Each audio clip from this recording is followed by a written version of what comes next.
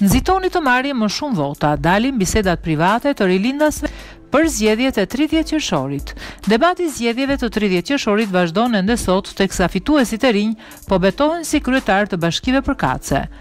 Mediat kanë publikuar sot disa nga bisedat e bëra ditën e zgjedhjeve nga shtabi i Partisë Socialiste ku drejtorët e të gjitha institucioneve lobonin për të rritur numrin e pjesëmarrësve. Pjesëmarrje sa më e lartë, ky ka qenë objektivi i Partisë Socialiste në fushatën e fundit elektorale për zgjedhjet e tridhjetë qershorit. Të vetëm në garë, në më shumë se gjysmën e bashkive të vendit socialistët me fitore në xhep kërkonin sa më shumë votues në zgjedhje.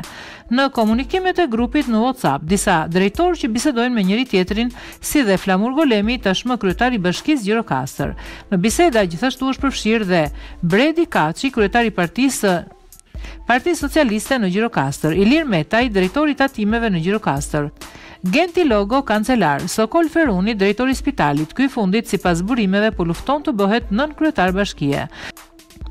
Duke parë edhe mesazhet, është Kaçi që jep udhëzime dhe kërkon që pjesëmarrja të jetë sa e 2017-s, por edhe më shumë. Ndërkohë, në bisedë është futur dhe Flamur Golemi, i cili tashmë është kryetar bashkie. ka dëgjuar udhëzimin për të gjitha qendrat e votimit kur kërkon që të shpërndahet tek të gjithë. Më tej, kur ishte ora tetëmbëdhjetë dhe votimet po mbylleshin dhe objektivi po kalohej, kanë nisur dhe falënderimet dhe përgëzimet për të gjithë.